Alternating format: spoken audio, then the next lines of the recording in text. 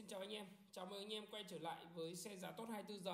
Trước mắt anh em là dòng xe Kia Sonet nhé, dòng xe thuộc phân khúc gầm cao 5 chỗ cỡ nhỏ của nhà Kia mà trong cái video ngày hôm nay, ngày mùng 9 tháng 5 của năm 2024 với những cái chính sách giá bán đang vô cùng đặc biệt, vô cùng tốt ở thời điểm uh, ngày mùng 9 này. Em muốn cập nhật để cho những anh em nào mà đang quan tâm muốn sở hữu cái dòng xe Kia Sonet này thì sẽ có thể nắm được với à, Kia Sonet được bán ra thị trường với 3 phiên bản à, bao gồm à, phiên bản 1.5 Premium này, 1.5 Luxury và 1.5 Dinac AT.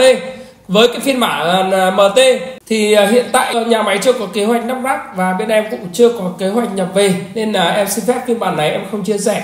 Hiện tại thì cái mức ưu đãi của dòng xe Kia Sonet này cũng đang à, rất là tốt rồi. Còn cái mức ưu đãi như thế nào thì ngay bây giờ em sẽ đi vào chia sẻ chi tiết về khuyến mại, về tổng lăn bánh à, để cho anh em có thể là cân đối cái tài chính của mình anh em nhé. Đó. À, đầu tiên thì em xin chia sẻ với anh em cái phiên bản Kia Sonet 1.5 Deluxe cái phiên bản AT nhé, phiên bản tiêu chuẩn. Bản này thì đang có mức giá là 524 triệu sau khi áp dụng các chương trình khuyến mại về giảm tiền mặt, về tặng phụ kiện à, như là giảm phiên cấp nhiệt, thảm sàn da, camera hành trình. Vậy thì để lăn bánh tại khu vực Hà Nội nhé, anh em cần chuẩn bị cho em là 589 triệu, trả góp thì đang là 160 triệu. Lăn bánh ở thành phố Hồ Chí Minh thì đang là 578 triệu, trả góp thì đang là 150 triệu. Còn anh em ở tỉnh nhé, cần chuẩn bị cho em là 560 triệu, trả góp thì đang là 132 triệu Tổng lăn bánh trên thì đã bao gồm các chi phí cứng để anh em có thể tự đi đăng ký còn anh em nào mà muốn đăng ký chọn gói nhé thì cộng thêm giúp em tiền chi phí dịch vụ đó với cái chính sách bán phân vùng thị trường nhé thì em chỉ bán ở khu vực Hà Nội và thành phố Hồ Chí Minh thôi còn anh em ở tỉnh thì vui lòng xem và tham khảo kênh của em nhé Ok, tiếp theo thì em xin chia sẻ với em cái bản thứ hai đó là cái bản uh, Kia Solet 1.5 Luxury. Bản này uh, thì đang có mức giá là 554 triệu. Với cái chính sách giá bán của bên em hiện tại cũng đang hỗ trợ rất là tốt. À, cái à, với à, cái mức độ chênh lệch nhau đâu đó vào khoảng à, 30 triệu thì cái bản à, luxury này được chênh nhau rất nhiều thứ. Như là chênh nhau à, về à, những cái tính năng an toàn này về trang bị nội ngoại thất như đèn à, bật chế độ tự động này cụm đèn led này đúng không ạ? Đó và một số những cái à, cơ bản khác như là cái cảm biến áp suất lốp đúng không ạ? Những cái trang bị thực sự là cũng à, rất là đáng để à, à, à, lựa chọn với cái phiên bản à, 1.5 luxury này đúng không ạ? Với cái mức giá giảm thì à, đâu đó à, vẫn hỗ trợ rất là tốt cho anh em cũng như là vẫn tặng anh em những cái gói phụ kiện cơ bản thôi.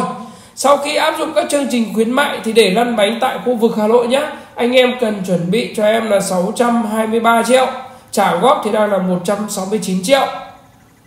Lăn bánh ở thành phố Hồ Chí Minh thì đang là 611 triệu, trả góp thì đang là 158 triệu.